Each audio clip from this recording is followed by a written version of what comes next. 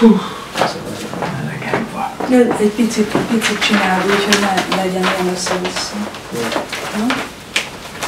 De szerintem a műveset, ha már itt van, akkor nem akar. Mi a keresztneved?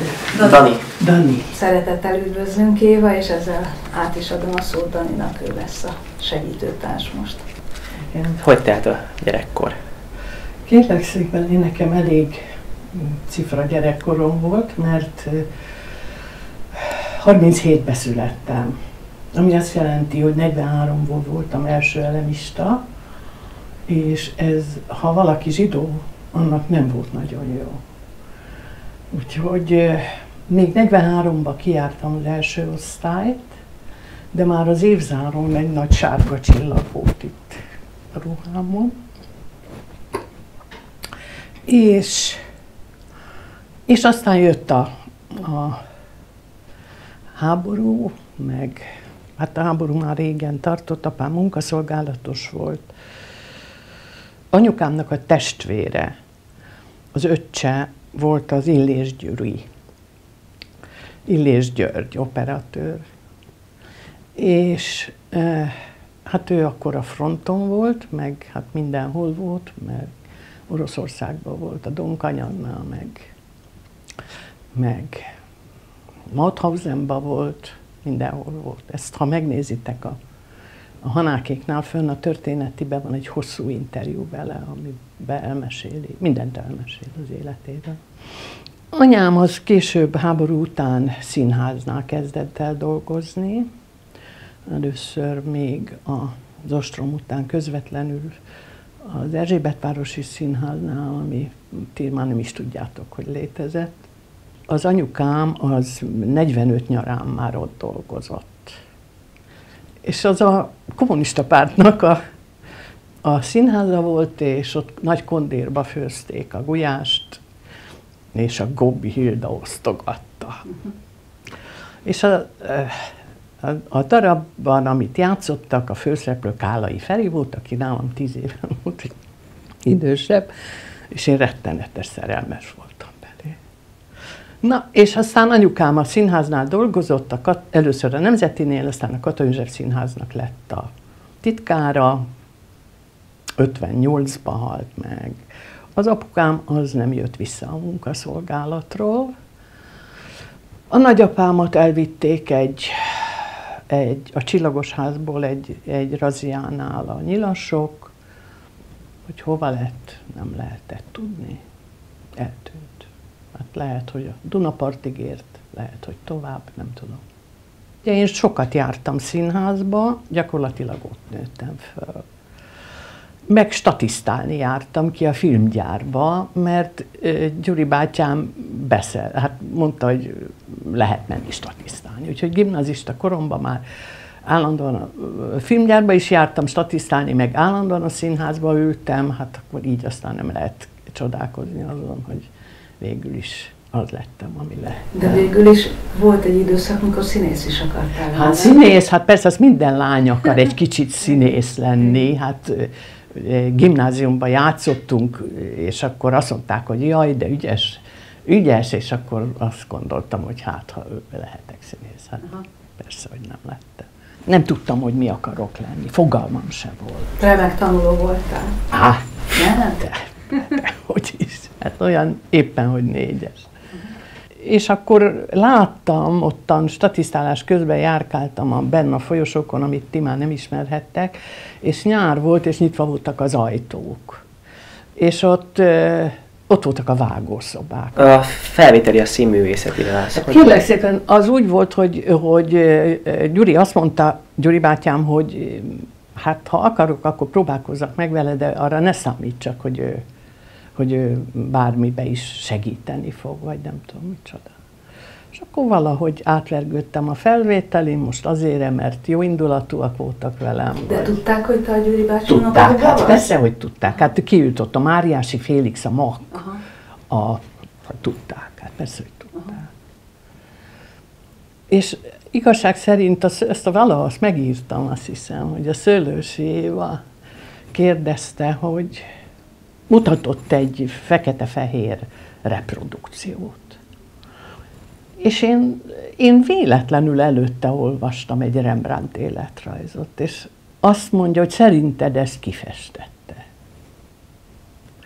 És az az idő... nem mondod, hogy te nem nagyon voltál abban az időben még jártas a képzőművészet. Hát egyáltalán nem. Hát a körülmények miatt abszolút nem, mert hiszen az ember ismerte Munkácsit, meg Pál Lászlót, meg Csók Istvánt, meg a magyar festőket maximum. De írt róla a könyv, és részletesen írta, hogy, hogy milyen, mi az, hogy chiaroscuro.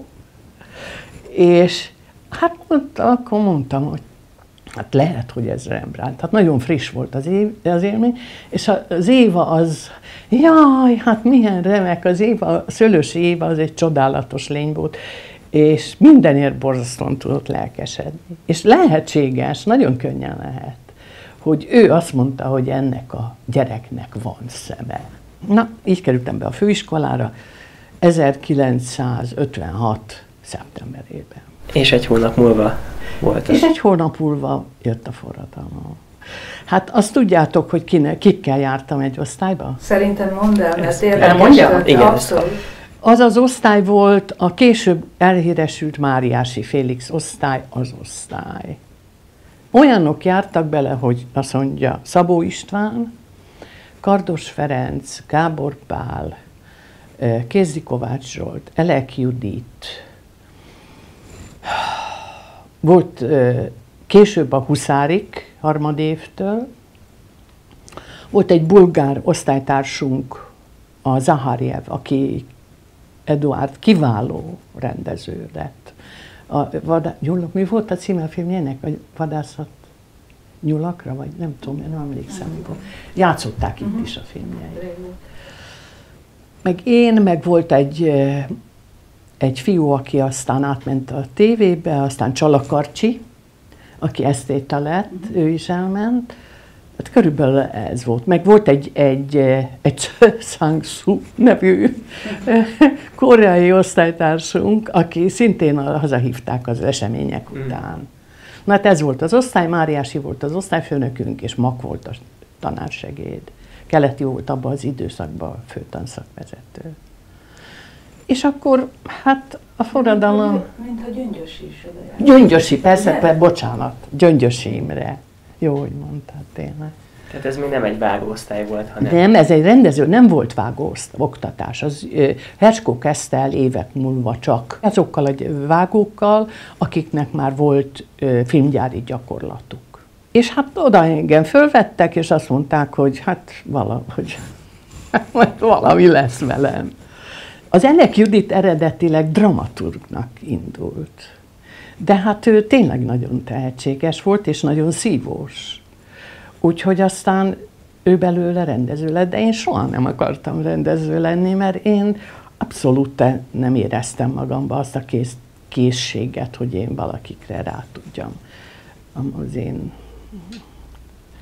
elképzelni. Nem is volt elképzelésem. Szóval az én valamit is rá tudjak. Örültem, hogy élek.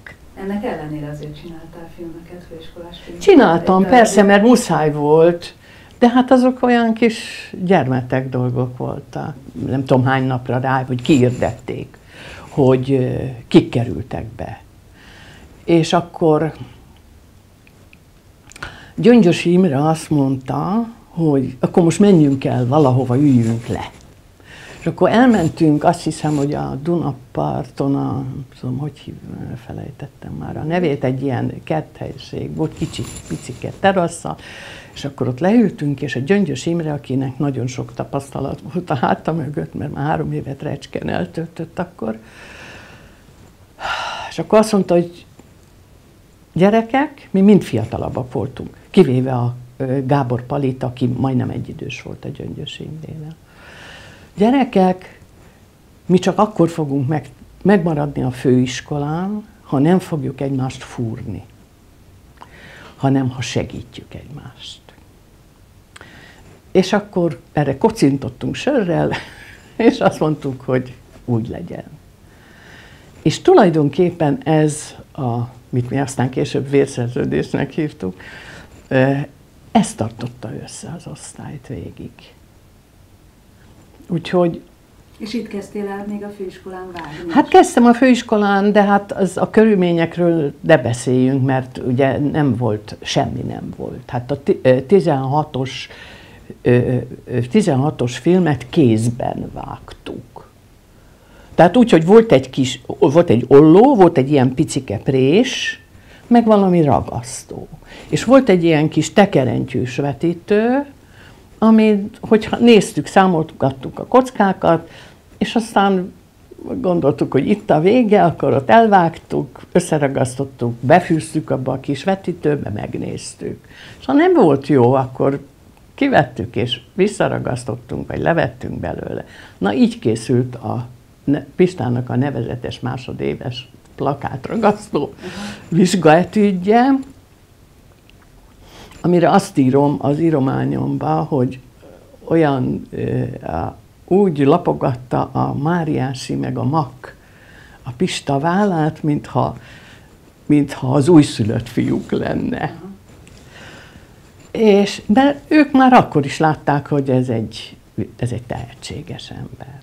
Gyakorlatilag úgy kerültem a, a filmgyárba, hogy a nullával egyenlő volt a szakmai gyakorlatom. Semmit nem tudtam. Azt tudtam, mert azt megmutatta a Máriási, hogy hogy kell fölstartolni egy anyagot, hova kell tenni, hogy kell szinkronba fűzni a klangasztalt, és mi a blikrichtung, és mozgásba kell vágni. Ez volt a lényegében a, a gyakorlati oktatás részemre egyszer, egy alkalommal.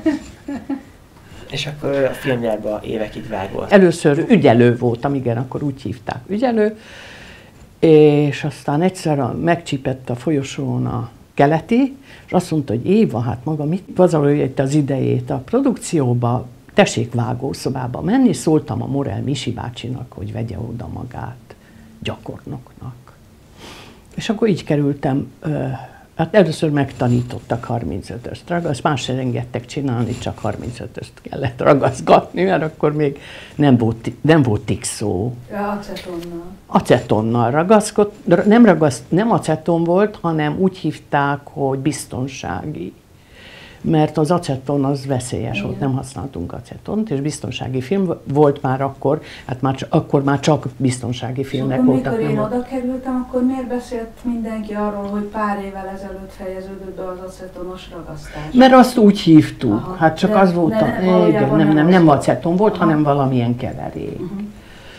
És Szóval ott, ott, ott, ott tanítottak vágni, meg hogy hogy kell megkeresni a kivágást, meg az ismétlést, meg dobozokat raktam föl, le, föl, le. És akkor Boronkai Sanyi ja, bácsihoz kerültem, egy nagyszerű vágó volt. Boronkai Sanyi bácsihoz kerültem asszisztensnek, aki mindenre megtanított. Hogy mit kell, hogy, hogy kell kezelni az anyagot,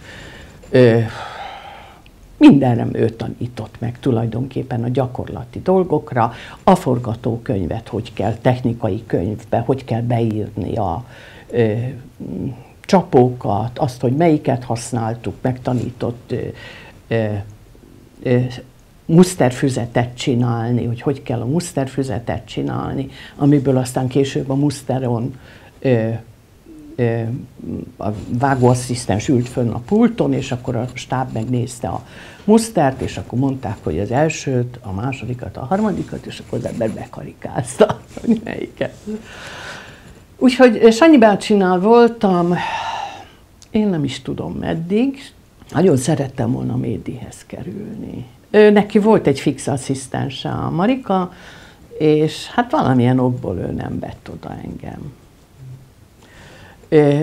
Úgyhogy a Kerényi Zoli bácshoz kerültem, itt van a vágószoba, itt volt az ajtó, itt volt a vágóasztal, és itt volt rám erőlegesen egy kis asztal, amin az ember ragasztott, meg rolnizott. Tehát ahol én ültem, még azt se láttam, hogy mi van a képernyőn, a vágóasztal képernyőjén. Csak ragasztottam. Zoli bácsi elvágta, így kidobta a snittet, és én összeragasztottam. A könyv az ölembe volt, és olvastam. Amúgy szerintem az is érdekes, hogy ez hogy volt, hogy a filmgyárban volt egy folyosó, a végig vágószobák voltak, és, Igen. és mindenhol vágták a filmeket. Igen, és az ajtók nyáron mindig tárva nyitva voltak, és a Kerényihez kerültem, aki nagyon jó vágó volt. És az első fontos mondatot a filmvágással kapcsolatban tőle hallottam. Ő azt mondta, hogy Éva, soha ne nézze a forgatókönyvet. Mindig csak az anyagot nézze. Mondtam, de hát a médi az beírja, hogy mit, hogy kell vágni. Ne nézze a forgatókönyvet. Az anyag, ott van az anyagban a film. És ez, ez, ez volt az, ami szöget ütött. És akkor az Oli bácsi beteg lett, agyvérzést kapott, akkor már Herskóval dolgoztunk, a párbeszédet csináltuk. Ott asszisztens voltam, Herskó az egy zseni volt, minden szempontból. És utána ö, kezdte csinálni a Szevaszverát, és akkor az Oli bácsinak már megvélunt az egyik karja. És akkor abban maradtak, hogy az Éva üljön a vágóasztal mellé, és mögöttem ült a Herskó, meg a Zoli bácsi, és, az, és, és akkor mondták, hogy mit csináljak. Vagy hát próbálták mondani, hogy mit csináljak.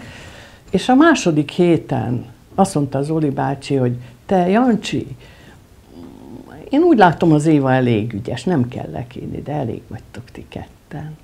És többet nem jött. És így kerültem én így kerültem én vágóasztal mellé. Nem tudom, mikor kerültem volna különben. 60-as évek közepetáján vagyunk, ugye? Hát körülbelül. Igen. 65, ha jól emlékszem. Hát az életem legnehezebb filmje volt egyébként. Volt egy nagy lakodalmas jelenet benne, és ott már négy kamera ment. De nem volt hozzá szinkron hang. Úgyhogy az e- összes hangot amit különben vettek, azt nekem kellett alá vagdalni, aminek lehetett. És mire azt összevágtuk, azt a, azt a lakodalmas jelenetet, addigra én úgy megtanultam a, a, a manuális részét, de nem csak a manuális részét. Érted? Hogy, hanem hogy, hogy hogy megy a dolog ha négy kamera van. Soha többet nem dolgoztunk négy kamerával, legfeljebb kettővel. Érted? Azt is nagy nehezen, amikor a Palit rá tudtam beszélni, Sándor Palit, hogy a, a Szerencsés Dánielben van egy jelenet, ami egy asztal körül beszélgetnek, nem tudom hányan, és mondtam, hogy ide figyelj, én ezt nem fogom tudni eredeti hanggal összevágni, csak akkor, hogyha ezt két kamerával veszed. És fölvette két kamerát. Egyébként nem használta, alig használta két kamerát. Nem, nem volt nyersanyag, nem volt kamera, semmi nem volt. És akkor a film végén már úgy volt kiírva, hogy a filmet vágta Kerényi Zoltán és, és Kármentő Andrásné. És akkor utána jött egy film, aztán kettő, aztán három, aztán elindult. Milyen volt a rendezőkkel a kapcsolat? Rengeteg sok, sok rendező volt, akivel több filmet. Hát ez változó volt. Mert ugye abban az időben lassan a rendezők magukhoz ragadták a filmcsinálást, és ők csinálták az irodalmi könyvet is, meg a, meg a technikai könyvet is, mert azt muszáj volt csinálni, mert be kellett adni.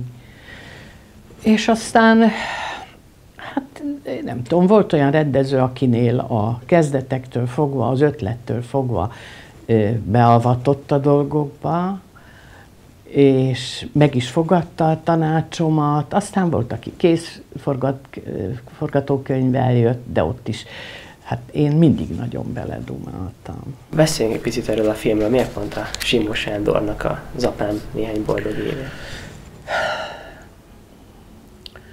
Hát talán azért, mert az valahogy nagyon a szívemhez közel álló munka volt. Mert a Sanyi maga is, ugyancsak két filmet csináltam vele összesen.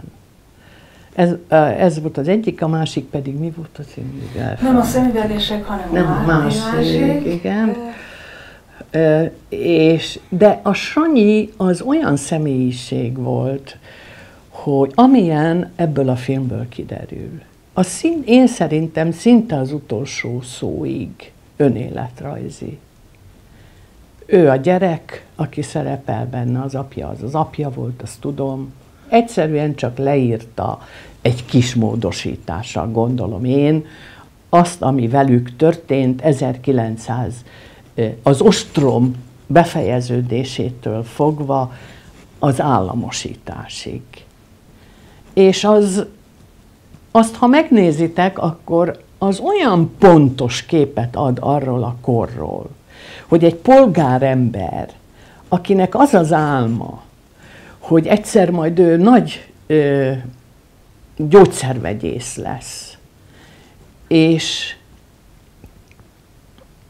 az államosításnál kirúgják a gyárból, és kénytelenségből vállalkozó lesz. Mindenüket pénzé teszik, hogy egy kis üzemet csináljanak. És az el is indul az az üzem, mert őt szeretik, és jönnek hozzá a gyárból a régi melós kollégái. És elkezdi csinálni azt a ö, találmányt, ami egy gyógyszer a lópisiből. Valami hormon dolog a női betegségekre.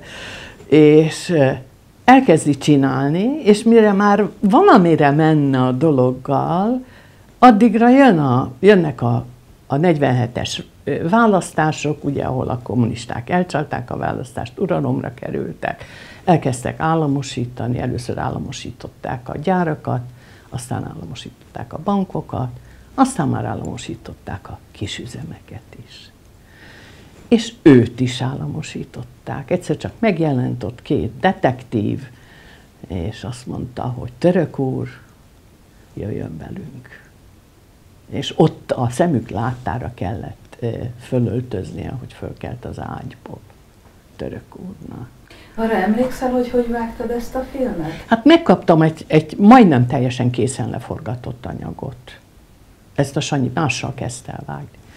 És én nagyon sokat dolgoztam akkor, és nem tudom, hogy miért, mindegy, mással Ugye jól emlékszem, hogy a, az a film, aminek most nem jut eszünkbe egyikünknek se a címe, az korábban volt. Korábban volt, ez egy hát, fekete-fehér film volt, Latinovics játszott benne, és az egyetlen igen, film, amiben a Bújtor a testvérével együtt vannak a filmben. És megkaptam a, a majdnem két teljesen leforgatott filmanyagot. Beültem a vetítőbe, az Ágival, az asszisztensemmel, és végignéztük a, a leforgatott anyagot, meg a, már kaptam muszterfüzetet, hogy melyiket választották, és akkor hát elkezdtem gyorsan csinálni, mert, mert hát nem egy jelenet volt csak összevágva.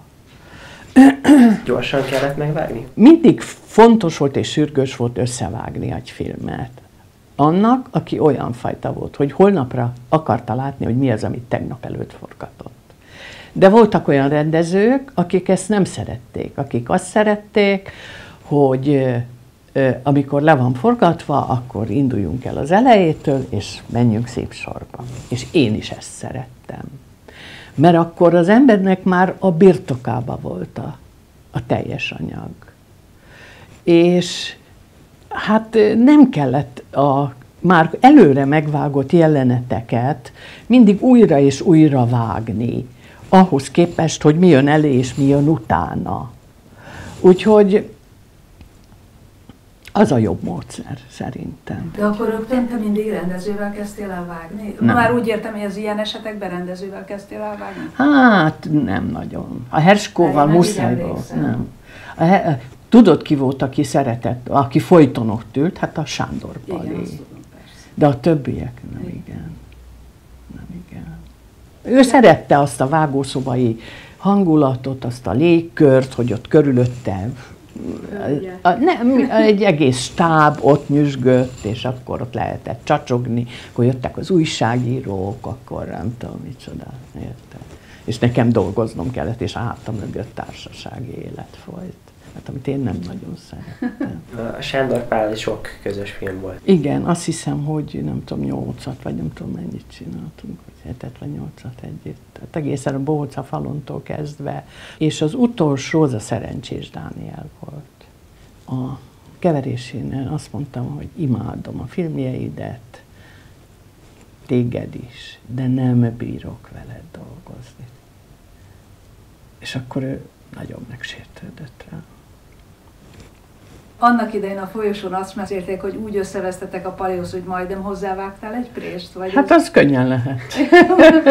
Igen, Az könnyen lehet. Hát nem lehetett. Szóval, Jó, egy picit térjünk még vissza a Szatán néhány boldog évére. igen. Mi volt az, amiért számodra ez olyan különleges? De, De hát nem, az- az... az emberségessége. Tudod, szóval az egy az egybe benne volt a filmben az ő valóságos lénye. A Sanyinak a valóságos lénye.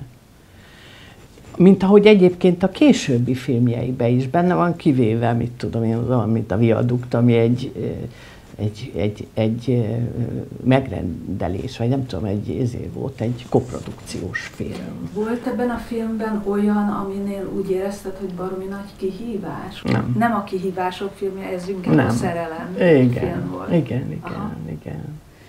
Hát kihívás, mi, a Sándor Pali filmjei mindig kihívások voltak, mert ő fejből forgatott. Nap mint nap írták át a forgatókönyvet a Tudzsuzsával, és nem is hasonlított a forgatókönyvre. De a tegnap előtti forgatókönyvre se hasonlított az a muszter, amit megkaptam. Tehát olyan, azok a, olyan filmek, mint a, mint a foci például, köze nem volt a forgatókönyvhöz, csak úgy körülbelül. És akkor ott a helyszínen a Pali rögtönzött, meg vett, amit fölvett, és akkor, akkor azt, az, az, az mindig nagy meló volt az ő filmjei. És még az, az is érdekes, ez annyira így volt, hogy nem elég, hogy rögtönzött a Pali, hanem a Tóth Zsuzsa, aki a forgatókönyvírója volt, közben... Állt mellette és súgott, hogy, Súgott. hogy mit hogy. De közben veszekedtek a Palival, mert közben irattatta ott a forgatáson a következő jelenetet is. Igen, Szóval igen. elég izgalmas Igen, forgatás lehetett. igen. Mondjuk ennyire nem... Ö, ö, talán a Márta néha eleresztette magát, és ő is, Mészáros Márta, ő is improvizálgatott. Ugye Mészáros Mártával is sok közös film volt. Igen. És díjak és utazások. Igen. Erről egy Na hát a Mészáros Mártával úgy kerültem össze egyáltalán, hogy az a Koltai Sütyinak köszönhető. Mert a, a Koltai akkor, jö- akkoriban jött ki a főiskoláról, azt hiszem. És a Gyarmati Lívia vette őt a talán a Szandi Mandihoz. De nem biztos, lehet, hogy azt még nem ő csinálta. Valamelyik színes filmjéhez ő operatőrnek. Akkor ismertem én meg a koltait. És aztán, hát ő borzasztó helyes fiú volt, hát azt nem tudom elmondani. Hát olyan, mint most, csak, csak 20 évesben. És e, csupa lélek volt, csupa érzékenység. Nem. És aztán utána őt a Mészáros Márta fölkérte egy fekete-fehér filmre, és ő előtte a korábbi filmjeit a Farkas Zoli bácsival csinálta, akivel még már, aki a Jancsó filmjeit is csinálta, és ővel nagyon közeli viszonyban voltak. És én nem emlékszem, hogy miért. A, ö, hogy a Zoli bácsi nem ért rá, vagy már beteg volt, vagy nem tudom micsoda, kellett neki egy vágó. És a Koltai azt mondta, hogy Márta, vegyette az évát. Az ügyes, én láttam. És így kerültem én a Mártához, aki hát ilyen nagy gyanakvással fogadott engem, mert abban az időben erősen kétfelé szakadt a, a, a gyár, volt egy Herskó érdekeltségű ö, csapat, akikkel én korábban dolgoztam. Egyszerűen akkor egyesítették a két filmgyárat. Ahol most busz, buszpályaudvar van, ott volt a dokumentumfilm gyár a Könyves Kálmán. Könyves Kálmán körúton.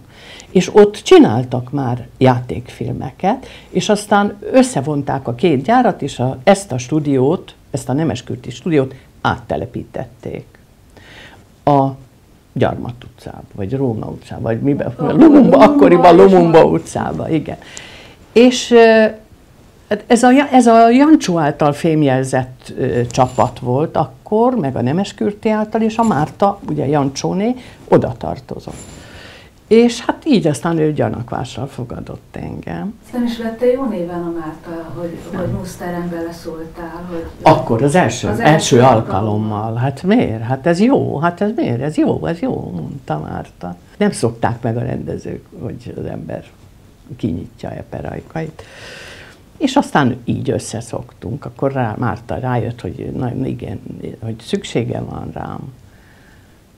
És így kerültünk össze. Én úgy emlékszem, hogy te nem egyszer vágtál párhuzamosan több filmet.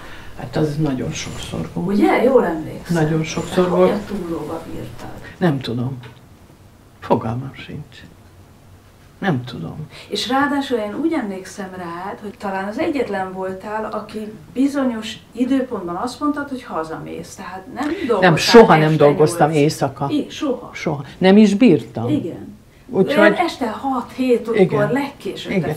De mindig nagyon pontosan tudtam, elég hamar megtanultam azt, hogy melyik munka mennyi, melyik feladat mennyi időt igényel. Mhm.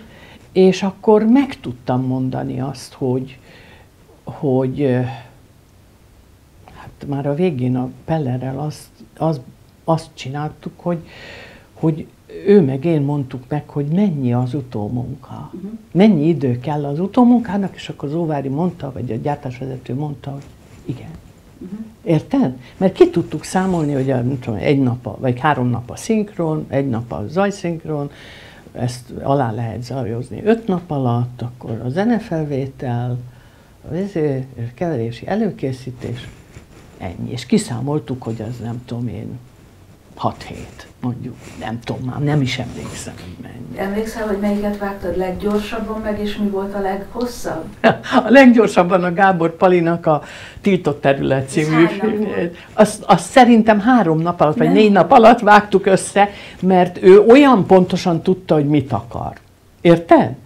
És azt csak elég hosszú beállításokkal dolgozott, nagyon egyszerű volt, és azt hiszem, az bonyolította a dolgot, hogy egyszer egy jelenetet teljes egészében újra felvetetett. És az nagy dolog volt, mert az első filmje volt, és az avar nem volt jó benne. És azt mondta az avarnak, hogy Pista, ez nem jó. Ezt újra föl kell venni, és fölvették az egész jelenetet újra. És akkor, amikor kész lettünk a vágással, akkor azt mondta, hogy mi van, kész vagyunk? Hát én egy kicsit még szenvedni akarok, az, az volt, ami leghamarabb. Azt hisz, úgy emlékszem. És a leghosszabb? Hát azt nem, Nem tudom. rendezők mindig bírták ezt, hogy párhuzamosan több filmben vagy? Hát Ebből nem volt nagyon konfliktus? szerették. Aha. Nem nagyon szerették, de hát muszáj volt, muszáj volt, mert ha egyszer az ember azt mondta egy rendezőnek, hogy ne haragudj, nem, nem, nincs, nem tudom elvállalni a filmedet, akkor kockáztatta azt, hogy a rendező megsértődik, és elbúcsúzik. És a legközelebb nem jön. És ilyen is volt. Volt ilyen Volt, fájdalmad? volt, volt. Volt. volt? Ki? Bacsó.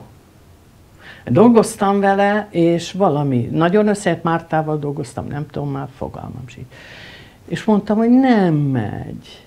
De a Mártával is volt. Ne, ő nem ment máshova, azt hiszem, csak ha meghallottam, hogy csinálja a naplót, fogja csinálni a naplót. És azt tudtam, mert ezt ő mesélte, hogy milyen lesz, hogy mit akar csinálni. És megüzentem a gyártásvezetővel, hogy ráérek.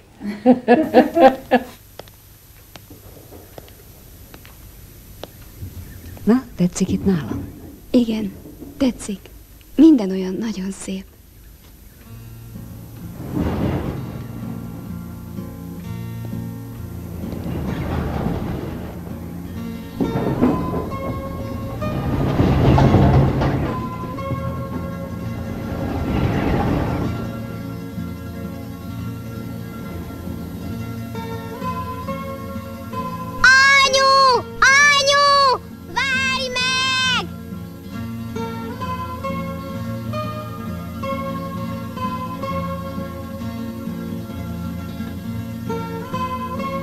Hű, de szép a szobád. Micsoda lakás?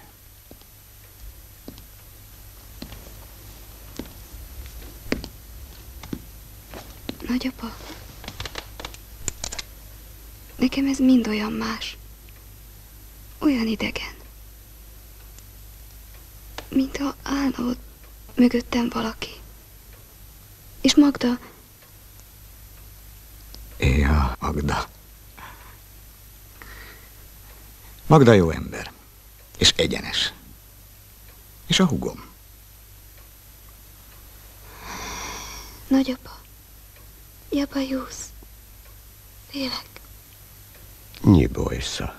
A Hernádival írtak egy ősforgatókönyvet, amit aztán számtalanszor átírtak. Végül is az a verzió, amit leforgattak, látod, már azt sem tudom, hogy az elsőnek ki volt az operatőre. Mert a másodiknak és a harmadiknak már a nyika volt. De az első, nem emlékszem Nem rá. a sutyi? Nem tudom, Aha. Nem emlékszem rá. És amit leforgattak, azt már a Márta írta. Már Hernádinak ahhoz semmi köze nem volt. Hiszen ez az anyag, ez annyira személyes volt, annyira az ő története volt. Hát az nagyon-nagyon-nagyon szerettem, mert az gyönyörű volt. Szóval olyan az, hogy a Márta a cinkócit vette, tudod, az, az, az ő, én azt hiszem, hogy a Ranódi filmben ezt ő már kinézte magának, és várta, hogy mikor lesz akkora, hogy alkalmas lesz erre. És hát a cinkóc egy ős tehetség volt. Olyan mélységesen megérintett mindenkit. A történet is, meg az az egyszerűség, ahogy azt a Márta megcsinálta, és ahogy a Cinkóci ezt azonnal az övé volt a dolog. Úgyhogy nagyon-nagyon-nagyon szerettem.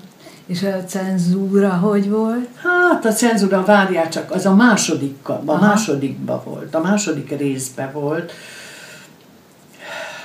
amikor a, a filmbéli Juli ö, már kezd nagylány lenni, és elhatározza, hogy ő filmrendező lesz. Hát a Márta a saját kútfeje szerint beválogatott filmeket, Berlin eleste. Ez volt a buktató. Na most az igazság az, hogy ezt én mondtam a Mártának, Hogy? hogy a Berlin elestét kéne használni. És akkor volt az, hogy mikor kivágatták és kicseréltették jogdíjra hivatkozva a különféle filmbetéteket, akkor én fogtam azt a Berlin eleste anyagot, és fölraktam a ötödik emel, a polcra legtetejére. Nem volt szívem kidobni. Uh-huh. Bekérettem a negatívját is. Érted? Fantasztikus. nem volt szívem ki. Pedig a Márta mindig mondta, hogy ő meg akarja csinálni a harmadikat, az 56 Na, de hát akkor ki gondolt arra? Igen. És aztán megcsinálta, és addigra meg már lehetett. És akkor, akkor belevágtuk újra. Érted? Persze. Úgyhogy ezek ördögi De ez abszolút a te ötleted volt. Én úgy emlékszem, Igen. hogy igen. Meg hát a te, te érzésed, hogy ezt el kell tenni, tehát te mentetted meg. biztos. Igen. És akkor ezért kellett a második naplóba bevágni a dalmit, ahol énekel egy kórus nagyon szocialistán, ő azt látta a film moziba. Never mind,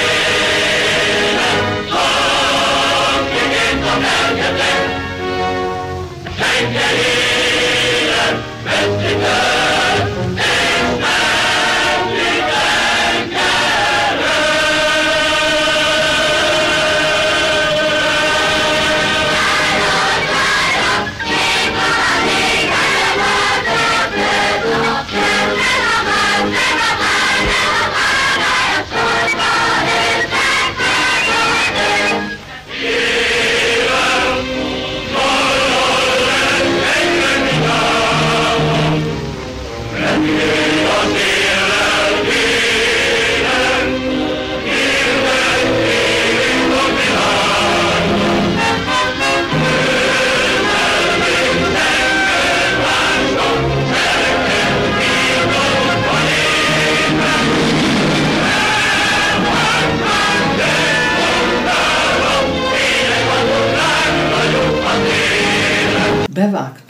A révai beszédét a, a Stalin szobornál.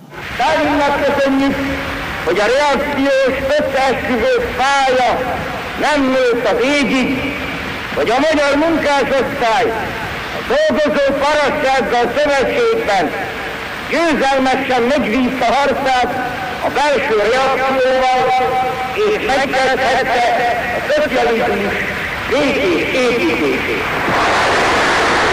Éljen a szovjet magyar barátság!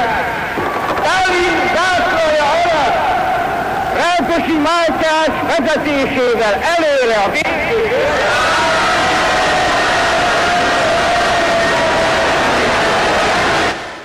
És akkor jött valamilyen elvtárs, és, azt, és én annyira dumáltam, hogy hát ha a figyelmét elvonom arról a jelenetről, érted? De nem, nem vontam el a figyelmét, ki kellett, abból is ki kellett vágni. Hát ezek a kivágás dolgok, ezek, ezek megint akkora történetek, hogy Épp ezt akartam mondani, akkor... amikor... Várja, még egy ilyen kivágós Ja, dolog van. szerintem. A, a Böszörményi Géza filmjében, hogy küretet csinálnak a Bánsági Ildikónak, és semmit nem látni, az ég egy világon nem lehetett látni semmit, mert úgy fényképezte, a, már nem tudom ki volt az operatőr, Pafferi talán, hogy az Ildi há- mögül, tehát ahogy fekszik az asztalon, a műtőasztalon, szét van a lába, és csak itt a láb, a két lábának a, a, a térdét látni, meg a fejét. És szemből nem is látni. És a Kondor papa azt mondta, hogy ez hosszú, ebből vágjunk ki. Érted? És akkor beszélni mondta a Gézával, fizetünk, mondtuk, hogy jó, rendben van, kivágunk belőle, és fölmásztam. A kivágásból levesz, hogy legalább há- két métert vágjanak ki. Érted? Kivágásból elővettem egy két méteres darabot, bementünk a, a FIFÖ-re, a filmfőigazgatóságra a felvonással, meg az az a két méteres darabba, megmutattuk a kondorpapának, hogy itt van, ezt vágtuk ki. Megnézte a felvonást, azt mondta, ugye, hogy milyen más. Igen, ez nagyon... és minden, ami olyan film volt, amiben sejtettük, hogy valami lehet, ott direkt benne hagytunk valamit, amire azt mondhat, tudtuk, hogy erre, ebbe bele fognak kapaszkodni, akkor ott valamit benne hagytunk, és akkor mond, az nem is volt olyan fontos, akkor az, az ki lehetett. És a lényeg meg benne maradt. És a lényeg amit benne akartunk. maradt. Igen. Szóval ördögi volt. Tényleg. De mindenki így gondolkozott, ilyen. Ő is tudta, meg én is tudtam, meg mindenki tudta, és csak úgy csináltunk, mintha. Igen. Tibikén, gyere közelebb. Hát te vagy a Balogh Tibi. A járásnál már annyi jót hallottunk rólad. Játszanál nekünk valamit? Igen, próbálj. Mit játszol? Amit a legjobban szeret. Mondjuk valamit. Úttörő dal tud esetleg. Hát, nem nagyon tudom, de megpróbálhatom. A Nemeskürti valamiére bennem bízott, és akkor ö, oda küldte a dártaiékat. És aztán Ott mennyire volt szabad kezed? Mert azért ez nem egy De szokványos ott az játék. anyag nagyon megszabta, hogy mit lehet csinálni. Mert hát már nem is nagyon emlékszem rá. De igyekeztek mindent egybe felvenni. És csak nagyon kevés olyan jelenet volt, ami snittelve volt. Egy, egy olyan hosszú jelenet volt, amikor a gyerek, amit mindig bejátszanak a tévébe, amikor a kisfiú, akit kiválasztanak a jutalomutazásra, egy ilyen vizsgán megy keresztül egy bizottság előtt. Mindenki civil volt, mindenki amatőr volt, az összes szereplő. Véget ér a tanítás, nyugodtan, kell még egyszer. Nem. Nyugodtan. Véget ér a tanítás, szabad lesz az iskolás, elmaradod egyszer egy,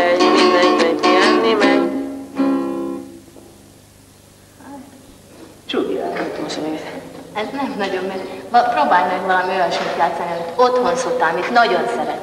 Mindegy, hogy mi az. Teljesen mindegy. Amit otthon szoktál legtöbbet játszani, ami a kedvenc. Vándorlásokról szóltam. Jó, játszod. Vándorlás a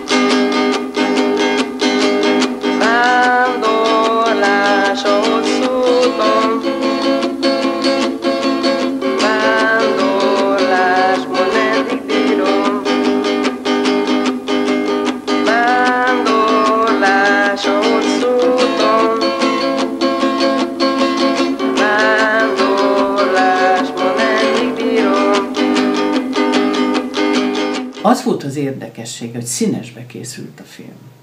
De nem volt, Koltai volt az operatőr. Nem volt színes muszter. Jézus. Gondold el. És minden jelenetből egy snittet lekopíroztak színesbe. Uh-huh. És a többi fekete-fehérben. Ez akkoriban azért gyakori volt. Gyakori volt. Igen, mert annyira spóroltak, hogy borzasztó. És nagyon helyesek voltak a dárdaiék, és nagyon kellemes munkatársak voltak, szóval semmi probléma nem volt, de hát ők nem akartak velem dolgozni, hát ők csak azért dolgoztak velem, mert, mert, mert a Nemeskürti ehhez kötötte. Szóval az nem volt egy... De szeretted a filmet? Szerettem. Szerettem, mert nagyon hogy is mondjam, csak nagyon igaz volt a maga korában, tényleg. Gábor Pál, akivel te tudom, hogy nagyon jó Osztálytárs. osztálytársad volt, és nagyon szerettétek is egymást, főleg Én te őt. Igen. Igen. én is így tudom. Hogy, hogy, hogy kezdtetek el együtt dolgozni, és, és mesélj egy kicsit az Angiveráról. Amikor ő megcsinálta, az első filmje a tiltott terület volt. És az valahogy, a vizsgafilmjeit nem tudom, hol csinálta, mással csinálta, de az valahogy olyan természetesnek, vagy természetes dolog volt, hogy az első játékfilmjét azt velem csinálja. Mert hiszen én voltam ott a filmgyárban. Na most a dolgot cifrázta az, hogy véletlenül ugyanakkor kezdte, az ele, kezdte volna az Elek Jutka csinálni a Sziget a szárazföldön. Uh-huh. És, eh, és nekem választani kellett. Hát gyönyörű lett a Sziget a szárazföldön. Szóval fantasztikus. Én szerintem az egyik legjobb filmje a Jutkának. De én annyira szerettem volna Palival dolgozni, hogy azt választottam. És az Elek Jutka egy életre megsértődött rám emiatt. Ott voltam a, a próbafelvételen, és csinált több lányjal, főiskolás lányjal próbafelvételt, és a, hogy hívják? Papvera. Papvera. Olyan jelentéktelen volt az életben, hogy azt nem tudom neked elmondani. És a koltai, érted?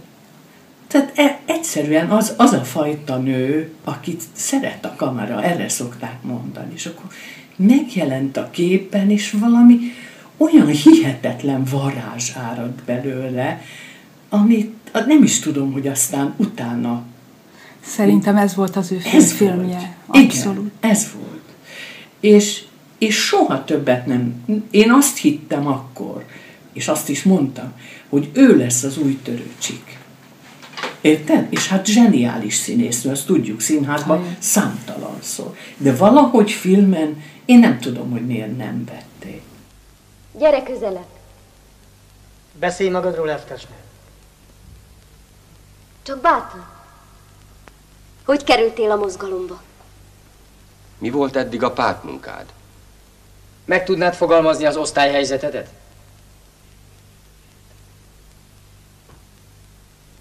Milyen iskolát végeztél?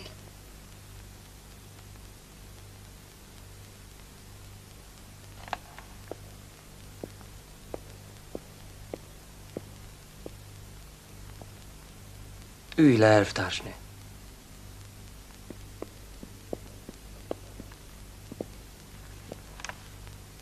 Szedd össze magad. Nem tudok én semmire se felelni. Nem tanultam én soha életembe, és nem is volt, aki tanítson. Ám mindig a munka volt. Mindig. Majd tanít téged elvtársnő a párt. Itt mindenki jót akar neked.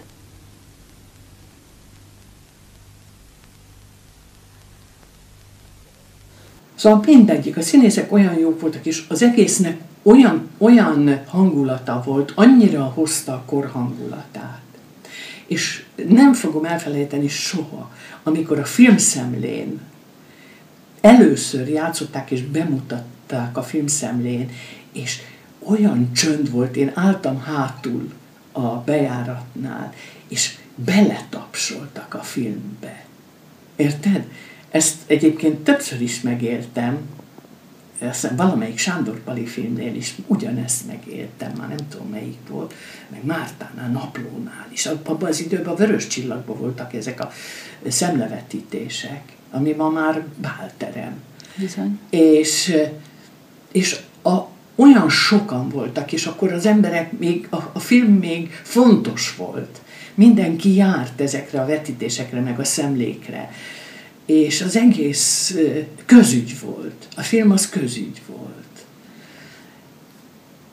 És aztán, aztán a filmnek óriási már, hogy az Anginak örületes külföldi sikere volt, és itt meg teljesen elhallgatták. De annyira, hogy amikor a papvera megnyerte vele valamilyen a legjobb színésznek járó Kánba vagy Velencébe, már nem tudom, semmi nem jelent meg? Nem. Úgy elhallgatták, hogy az teljesen.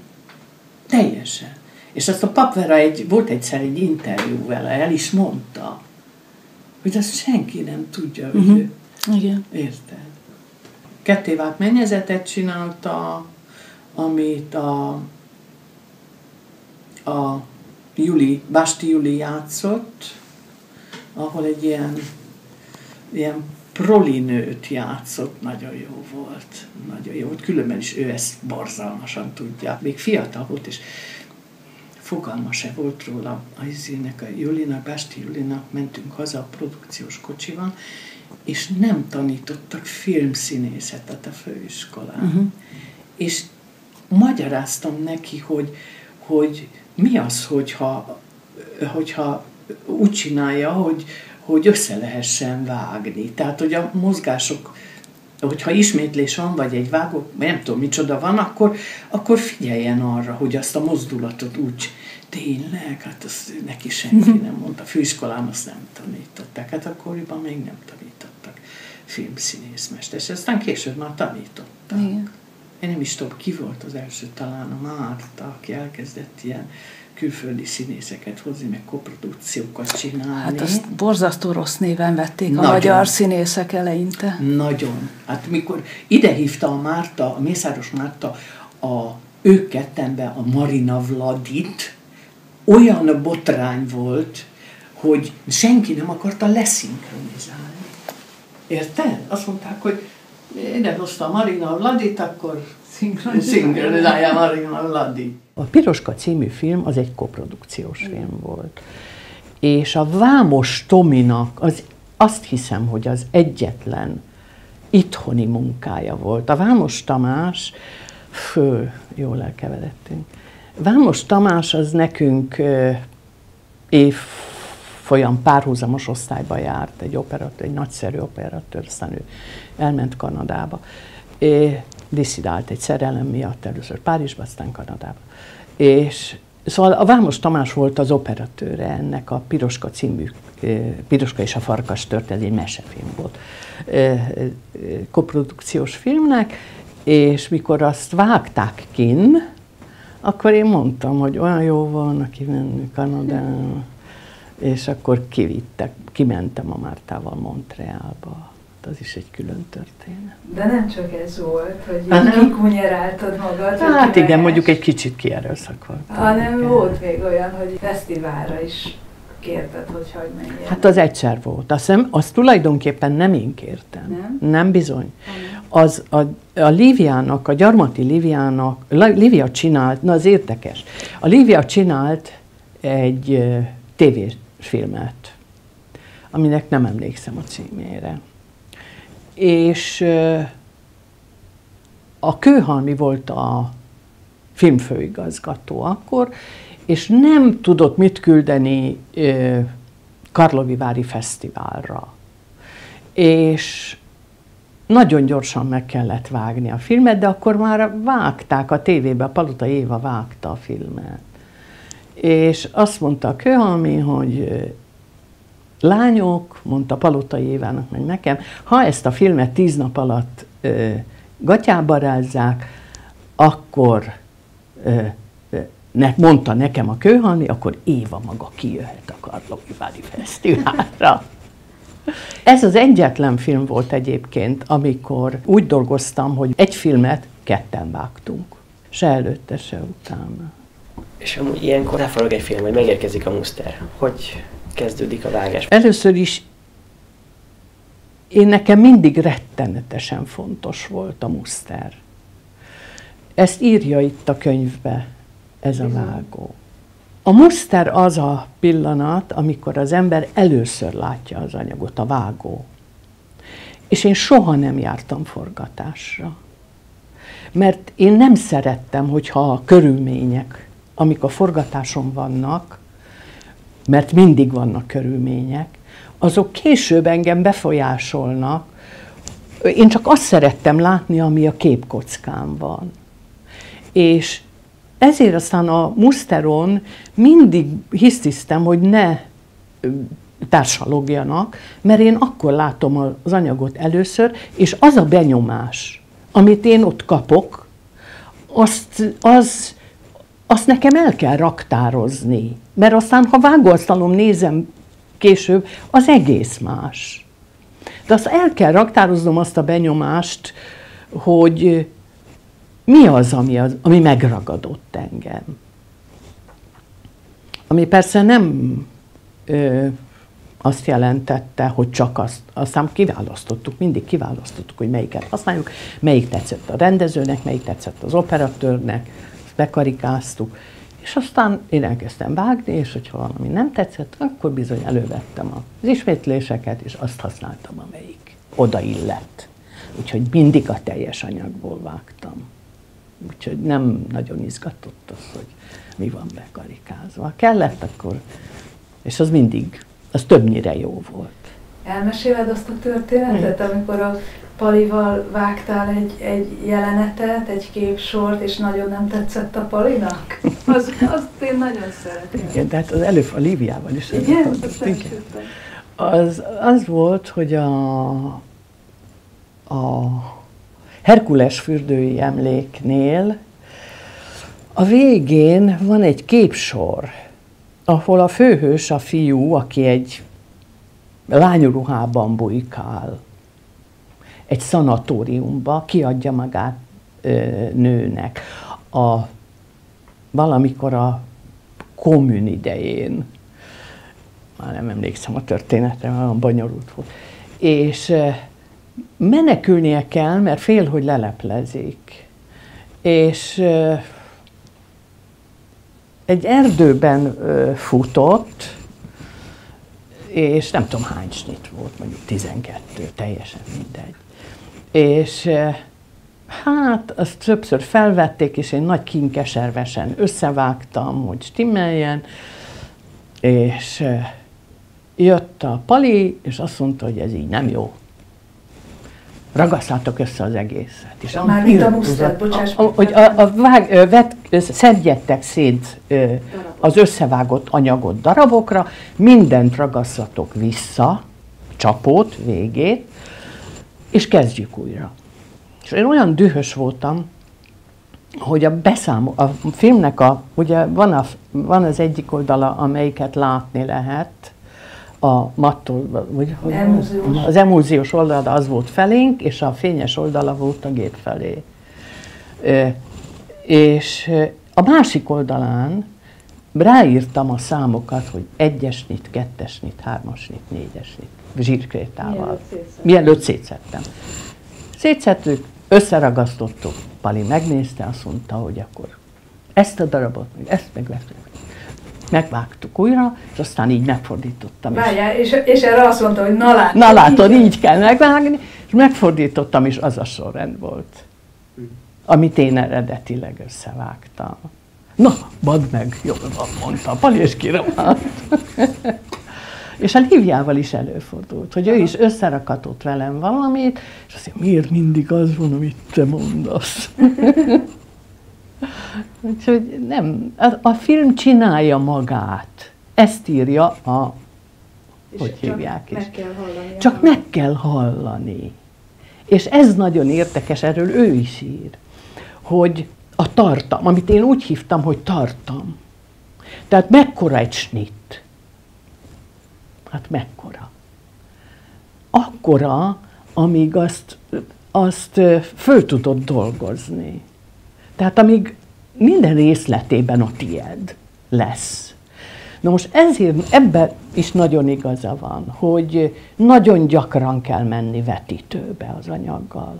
Nem elég a vágó, szó, vágóasztal vagy a képernyő. Hogyha val, a végtermék nagy vásznon fog megjelenni, akkor nagyon gyakran kell nézni nagy vásznon. Mert teljesen másképp viselkedik az anyag, ha itt van közel, vagy hogyha megjelenik nagyban.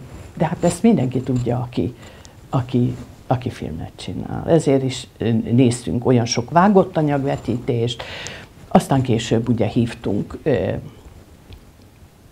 ö, ilyen Vendégek. vendégeket, a próbavetítéseket csináltunk. Persze mindig csak gyáron belül. Akkoriban még nem lehetett moziba vinni, mint az amerikaiak, hogy csináltak egy nullkopiát, és akkor hívtak külsőket, és, és levetítették a megvágott anyagot, azt írja. Hát fantasztikus. Tehát a teljesen más körülmények Más összegből voltak. dolgoztak. Más összegből dolgoztak. Hát nálunk mindig őrületes spórolás volt. Hát 24 ezer méter volt egy filmre a nyersanyag, és abból kellett megcsinálni. Durván 2400 méter. Igen, igen. Egy tízszeres. Tízszer. Igen. És igen. ebbe az ismétlések És ebben minden benne volt. Tehát ott nem volt mese, hát ott annyira kellett mindennel spórolni, és mindig, és mindennel, idővel, anyag, nyersanyaggal, kamerával, mindennel. Van valami olyan emléked, ami, aminél úgy érezted, hogy egy jelenet, amivel nem tudsz megbirkózni, olyan nehéz? Biztos minden filmnél, nem tudom. Hát ez a, talán a legnehezebb az ilyen szem, ebből a szempontból a, a Zolikának, a Huszárik Zolinak a filmje a Csontvári volt. Mert amikor azt csináltuk, akkor ő már nagyon beteg volt. És ő vagy két évig forgatott a legkülönfélebb helyszíneken, és a csodálatosnál csodálatosabb anyagot, Jankura Péter volt az operatőr, anyagokat forgatta, és a forgatókönyv se volt egész kész. Ö, és a Zoli beteg volt, és akkor már teljesen szét, szétesett volt. És ott volt az a őrületes mennyiségű, gyönyörű anyag, ami, hát máig se tudom, hogy hogy állt össze. Erről a Sipos Pista tudna beszélni, mert ő volt a hangmérnök. És még, még keverés közben is vágtatok szerintem. Hát mindig, Ugye? azt mindig. Igen. Szinte nem is volt olyan film, amit keverés közben még ne igazítottunk volna, teljesen függetlenül attól, hogy hány hangsávja volt. Na, ez a hangsáv is nagyon érdekes, mert erről is ír valamit. A pasas, hogy azt mondja, nem attól függ a hang milyenség, az, a végső hang miensége, hogy hány sávról keverik össze hanem attól, hogy minden a helyén van benne. És erre is van egy nagyon érdekes emlékem, hogy a Böszörményi Gézának az Autó című filmjében volt egy jelenet, Pinter Gyuri volt a hangmérnök, amit a, valahol ott az Osztyepenkónál volt egy, egy kaszárnya. És a fiú kijött a kaszárnyából, a lány a másik, az, orsz, az országútnak a másik oldalán állt, és közbe húztak el az autók. Jobbra-balra.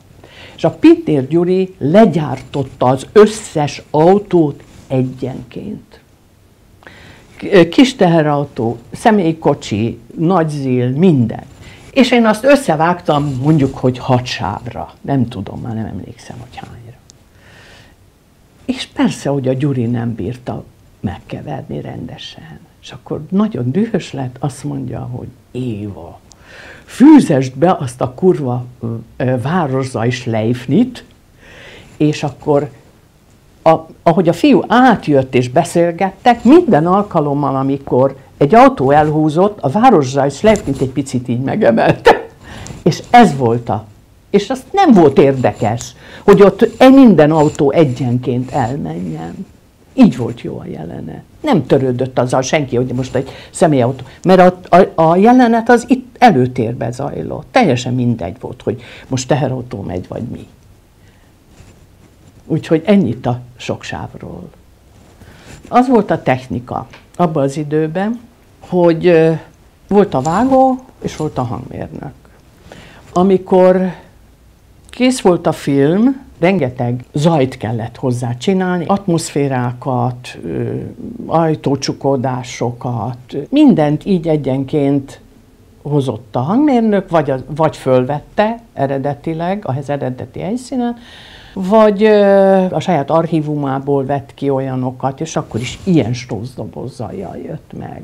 És akkor föl volt írva rá, hogy ez a nem tudom, az első felvonásnak az alja, ez a második felvonás alja, és itt tovább. És akkor az én, meg a hangmérnök, ha buzgó volt, akkor a hátam mögött, tehát mint a peller, és mondta, így adogatta a zajokat.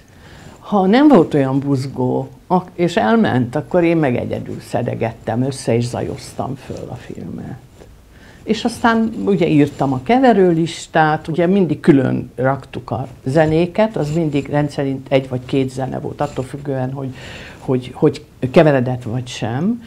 Aztán egy vagy két szinkronzaj volt, amit utószinkronnál a lépéseket, amit műterembe lezajoztunk, a lépéseket, meg ilyen csoszogást, meg nem tudom micsodát, és aztán voltak a, a zajok, amik, hát egy tudom én, más egyéb volt az effektek, hogy ajtócsukodás, meg autó, meg a szélfúvás, az, vagy végigment a filmen, az a jelenet teljes atmoszférája, és akkor jelenetenként váltogattuk az atmoszférát, vagy Schleifniről ment, ugye végtelenbe valamiről, amit nagyon nem szerettem, mert mindig ugrott. és, és aztán így állt elő jó esetben 3, 5, 6, 7, 8 hangsáv, amit kevertünk. Minden lap egy felvonás volt. És így volt a, a, a képek egymás után, hogy a szoba, országút, tanterem, vagy mit tudom én, micsoda, és akkor így voltak a sávok. Azt mondja, hogy volt a dialóg egy, dialóg kettő, zaj egy, zaj kettő, zaj három, zaj négy, és így tovább, zene egy, zene kettő. És akkor mindegyikbe be volt írva, el tudod képzelni, ugye, hogy, hogy mikor jön. És ugye abban az időben, amikor még nem lehetett oda-vissza járni a keverő masinával, akkor bizony egyből kellett a hangmérnöknek megkeverni a a keverésnél a felvonást. Akkor itt ült mellettem, a, itt ültem én a hangmérnök mellett, ő a mispulton a keze, mellett előttem a e, keverőlista, és súgtam neki, hogy mi jön, és melyik sávon. És akkor, ha, ha nagyon jó hangmérnök volt, akkor meg tudta csinálni egyből de rendszerint nem, mert belehibázott természetesen, akkor nem lehetett visszamenni. Akkor megkevertük, a, mondjuk a feléig sikerült, akkor megkevertük a második felét, és akkor a kevertet összevágtam. A két kevertet összevágtam, vagy ezerféle variációja volt ennek a dolognak. Amikor már lehetett ide-oda menni a keverőpulttal, akkor már nagyon jó volt, mert akkor be lehetett váltani. Tehát ki lehetett javítani egy-egy jelenetet. Tehát, hogyha eltolta a második jelenetet, akkor visszafutott, és akkor az elején beváltott. Úgy megkevett, és a végén kiváltott. Az már úri dolog volt. Ez csak jött a digitális. Igen, hát az, az megint egy nagy, nagy, nagy történet. Hát én mindig filmet vágtam. És egyszer a Bacsó Péter azt mondta, hogy Éva, csinálok én most egy TV filmsorozatot, amit betára forgatunk. A beta az, az magnó, képmagnó volt. És én tudtam azt, hogy a Péter nem, fog tud, nem fogja tudni úgy, én nem, hát már valamennyit értettem a betához, mert én nem is tudom, hogy hogy valahogy, igen. De én, ő úgy, forg, úgy forgatott, mintha filmet forgatna. Na most a betát nem lehetett, az csak sorba lehetett vágni, szeletelni, mint a szalámit egymás után. Vagy ha az ember bele akart javítani, akkor azt át kellett azt a darabot újra írni. Vagy előről kellett. Vagy előről kellett kezdeni az egészet. És akkor már volt egy evid, a rendezői osztály vett egy evidet, de még senki hozzá se nyúlt. És azt mondta Jancsi, hogy ó, ez nagyon egyszerű, ez nagyon ez remek, Peller Kocs is mondta, hogy ó, ez nagyon jó. De senki. Ez, ez mikor volt? Úgy időben? Ez volt, meg tudom, ott van a lista, pontos. Úgy, valahogy 92-ben. És én nekem gőzöm nem volt a digitálisról. Az volt a nagy szerencsém, hogy az akkori asszisztensem, a Juhász Kata, az, az erdélyéknek volt egy valami kis maszek stúdiója, és ő ott már besegített, és őt egy kicsit megtanult, hogy mi az, hogy digitális. És úgy ültem le először az evithez, hogy hallöványgőzöm nem volt róla. És akkor mondtam a Katának, hogy Kata, mit kell csinálnom akkor, hogy, hogyha azt akarom, hogy, hogy innentől eddig, akkor ő mondta, hogy mit nyomjak meg. Aztán mit kell csinálnom akkor, hogyha ki akarok venni valamit a, a kimusztárolt anyagból, akkor ezt kell csinálni. Aztán mit kell csinálni? Így tanultam meg a digitálist. Teljesen a gyakorlatban. És elég hamar megtanultam, mert olyan szenzációs. Ugye az ember dolgozik, mintha filmet vágna, és tiszta marad a keze. Érted? Egyébként meg pontosan ugyanúgy vágtam, mintha film lenne, ugyanazzal a szisztémával, csak sokkal gyorsabban. Még egy pillanatra vissza a hagyományos filmerzéshez.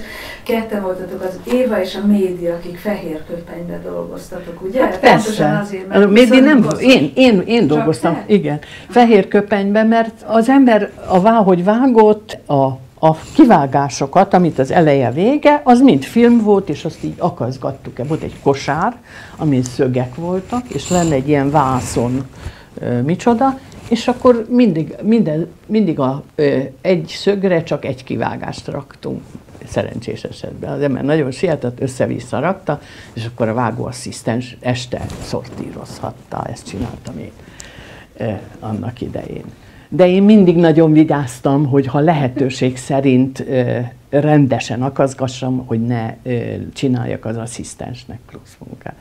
És akkor az ember így kotorászott a kosárba, és kereste a kockákat, amik leestek, érted? Úgyhogy eddig koszos voltál, meg ugye a film az porlad, az emulzió porlad.